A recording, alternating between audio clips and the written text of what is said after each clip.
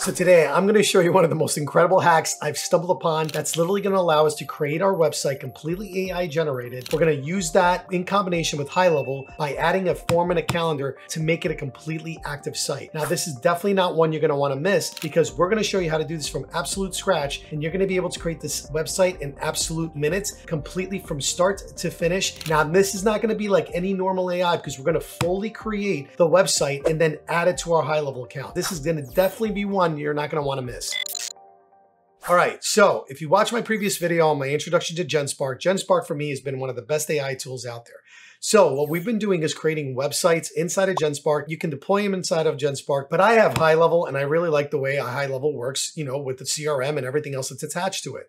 So what I'm going to do is I'm going to attach a form in a calendar to this actual website to show you that you can now integrate these things directly in there. And then we're going to put the website inside a HighLevel so you can see how to actually make this website live using the tools that we know and love, right? So the first thing we're going to do is we're going to come over here and we're going to go to GenSpark and I'm going to speak the prompt and you're going to do the same thing. Now you have to have a GenSpark account in order to make this work. And it does take a few minutes to generate. So I am going to walk away or pause the video while it's generating the website because then what we're going to do is we're going to take the raw code from the website and I'm going to show you how to install it inside of HighLevel. But the first thing we're going to do is we're going to speak the prompt. So create a website that is about a microgreens store. The microgreen store is basically where people can come in and buy different microgreen packages. We can also make appointments in where they can talk to one of our representatives and we can ask them to come in and make a specialized package for them that gives them microgreens for a week, month, and whatever they choose. Also, part of that is they also can sign up for our microgreens newsletter where they're going to get constant updates about the different services and things that we're offering every day. So make sure that you include a place where there will be a calendar for them to make an appointment, speak with our microgreen specialist. And then the second one, I want you to make sure you also add that you're going to have a place where they can sign up for our newsletter. On top of that, I want to make sure that in there you're discussing our pricing. And also, by the way, can you please make a logo and generate some images for the site to make it a real lively site? And also make the buttons where you hover over them and they change different colors. Make the site look fresh and new and definitely use a lot of greens to promote the site and make up a company name that we can leverage and use along with that logo. Pretty extensive prompt as you guys know from my previous video, it can handle that. Now, while this is going ahead and doing this, what I'm gonna do is I'm gonna go create a form and a calendar that I can leverage. So the first thing I'm gonna do is go over to sites on the left-hand side, go to forms, go to builder, and I'm just going to use a very simple form for them to sign in a newsletter, which all we need basically is an email and a name, right? So I'm going to hit create, start from scratch, coming over here to hit create. Going to call this the microgreens form. All right, come in here, lose the phone number, lose this because we don't need it. Terms of service we're not really going to need on this case. We're not going to need last name and we're going to make the first name and email required. Make the button subscribe now because this is going to be for the newsletter. Then we're going to leave it green because that's going to be the color that we're going to use. Go ahead and hit save. All right. And then the next thing I'm going to do is create a calendar. So I'm going to go to calendars on the left hand side. Now, mind you, you would have to have your Google integrated. Not going to go through how to do that on this particular video. A lot of videos that you can do to see that but I'm going to go to calendar settings and we're just going to create a quick calendar and assign myself to it. So I'm going to select a new calendar. This is going to be a round robin calendar. We're going to call it the microgreens calendar intro call. All right. Now I'm just going to give you an example. Obviously, microgreens is a very off the topic kind of weird one, right? But it's going to be nine to five and this is going to be microgreens, 30 minutes. All right. And I'm going to go ahead and I assign myself to it. And I'm just going to hit confirm right? All I'm trying to do is create it so we have something readily available that we can leverage because what we're going to need is we're going to need the iframe link and I'm going to show you how to grab all this because you see the iframe is what we're going to give the computer once the site is done because we're going to tell it to replace with the form and with the calendar. So now that this is here and I'm ready for my calendar, I'm going to also come over here, right click on this, duplicate it. I'm going to go into the form and get the same embed code because that's how we're going to embed it. Because even though I'm hosting it inside a HighLevel, I need to basically create an embed code in order to like put it in the account without kind of really making this hard on everybody. Because again, the goal would be that you can launch this in minutes and have a site completely up. Now I'm going to hit the go back button.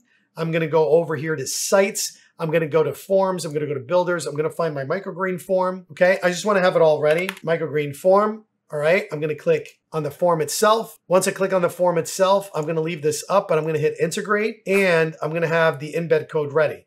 Now I have my calendar, I have my form, But remember, with every form, with every calendar, you're definitely to want automation. So while we have a little time, while the microgreens still kind of creating that. What I'm gonna do is I'm gonna come over here and I'm gonna quickly go in and create some automations one that can handle the form and the other one for the calendar. Hey, we want to interrupt this video for a quick little minute to just let you know that I hope you're enjoying this video. We want to thank you for being here, but more importantly, we are hoping that this content helps you do whatever you're trying to do inside a HighLevel. We also want to let you know that you have options to get additional help. We offer a 197 a month VIP coaching program that includes four days of office hours, first come, first serve with Andy or myself, where we go in and we answer any of your questions that you might have live with a group setting for other people that are also working in HighLevel. We also have a VIP group where we answer questions directly one on one with anybody posting in that group to give you the absolute best support. It also comes with a bunch of other features, including our funnel brick system, our little mini course, and more importantly, a couple guides that'll help you through this, and also including our SOP library that we use for pretty much everything inside of our agency. So thank you for this quick little minute, but more importantly, go back to the video, get whatever you need, and if you have any questions that we can answer inside the video, just drop a comment on the video and we'll make sure to answer whenever we get a chance. And now back to the show. So for anybody that has watched me, again, you have a lot of the appointment reminders that we already have available for the calendars.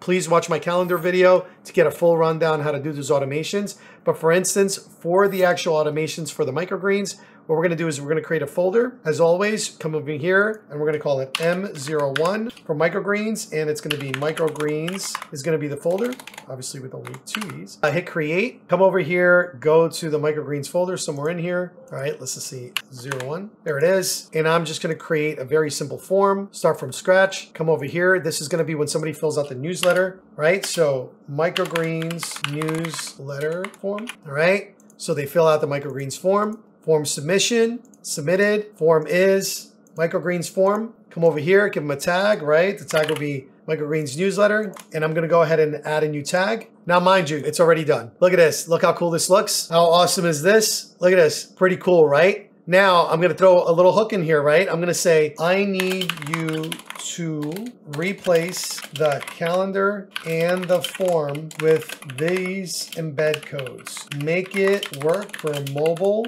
and desktop. All right. But how cool is this site?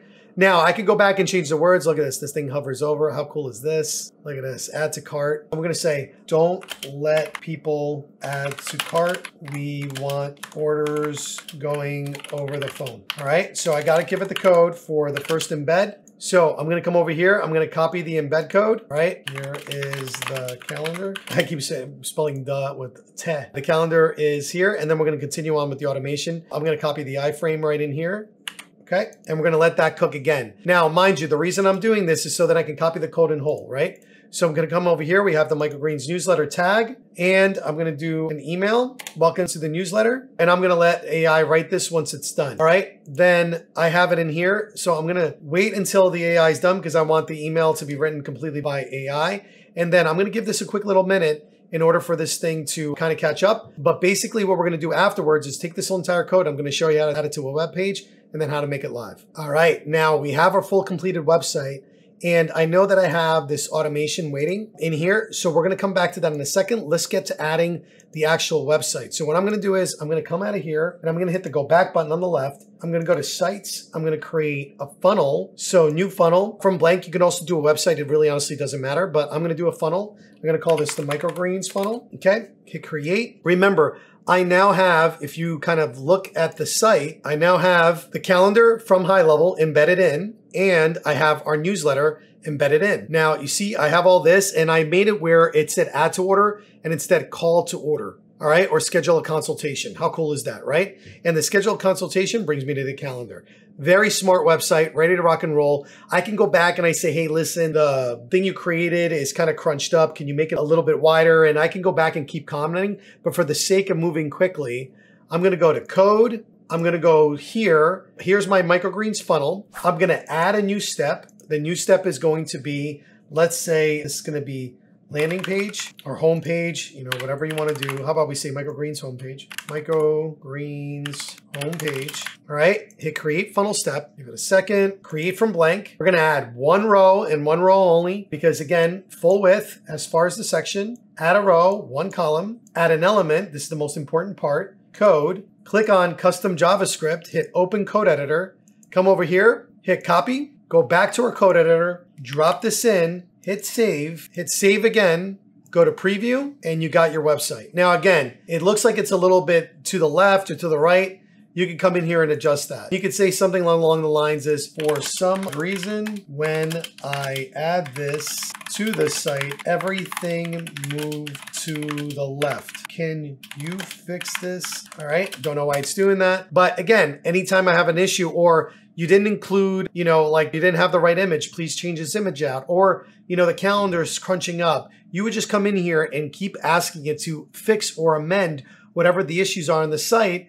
And then you would go back and you would come in here for the custom code, delete all this and get ready for this thing to be corrected. So I'm going to give it a little time for it to be corrected. And then I'm going to ask it for the email that we need in order to do it. Now, the reason I let this error kind of happen instead of showing you the finished polished look is because again, you're going to run into issues where it might not work or something's a little off. Go back and ask it to fix it. So then it's not all to one side or whatever the reason being is like this was. All right, so we're gonna give it a few minutes. All right, I have the updated code, so I'm gonna go over here and copy. And by the way, guys, this is live, so things are not gonna work when I do things live. So sometimes I have to go back in and adjust myself. So I'm gonna hit save. But regardless of which, I just wanted to understand the magnitude of what we just did. Okay, it's still showing up. I think it's more the menu now than anything else, so I know it's gotta fix the menu. So we come in here, but again, here we are. Calendar's in here, newsletters in here. We're ready to rock and roll. Now I'm gonna go back to GenSpark and say, great, now give me a welcome email for the newsletter. Okay. And it's going to give me the email. We're going to copy and paste the email. And then we're just going to create an automation for the calendar. And then lo and behold, we'll have a fully completed page. And then the only thing you have to do is make it live, which we're going to try to also do. Just again, if you have to have a domain, which I don't know if I have a domain name. All right. And here we go. So we got the subject line. Welcome to the Greensprout family. Again, was the chosen name that we have. Go back to my automation, come in here, drop it. Oh, let's try that again. Go into the subject line, paste, come in here, delete that, grab the other stuff, which is their name. And we're going to replace that with a custom value. Follow us, look at this. And again, we're not going to have social media links now. But guys, the fact that this is happening so quickly and you're able to do this in one shot is pretty good. Now, I'm going to teach you guys a trick. I just copied and pasted that. So what we're going to do is actually we're going to hit Control Shift V and it takes away all the formatting and puts it in simple, which is the way I usually like to do it. First name. All right. What you can expect. And now all I honestly do is just add spacing to make this really easy. All right. So daily updates, and these are all bullet points. All right, so we add some bullets, come over here. And again, obviously a fake number because we don't have a real number. Clean it all up follow us to social media links. We don't have a link for that either, but you guys get the point and everything else, and we go from there, right? So now we got an email. We hit save, we put this to publish, and it's ready to rock and roll. Now, one for the appointment reminders, you would just come into the same folder. We would hit create a workflow. We would actually select the recipe. Inside the recipe, we're going to go all the way down to my favorite one, which is the recipe appointment for confirmation reminder. Come in here, select the microgreens calendar or just do it where every appointment comes in here, but we're gonna do in calendar and we select micro intro call, hit save. Fantastic, all the reminders are here. I'm gonna hit save and I would publish that. And again, we would do it M02. So let's just change names just to make it really right. So we wanna rename the workflow. We're just gonna change this to M02. Boom, hit save. Then what we would do is we would come in here. Now I'm not gonna add an actual domain, but we would go into our domains you would see this in here. There's no domains in here. Actually, I have one in here, which is great. So I'm going to take this domain right in here. I'm going to hit manage. It's got it connected and I'm going to connect another one, a funnel. And instead of doing automatedmarketer.live, we're going to do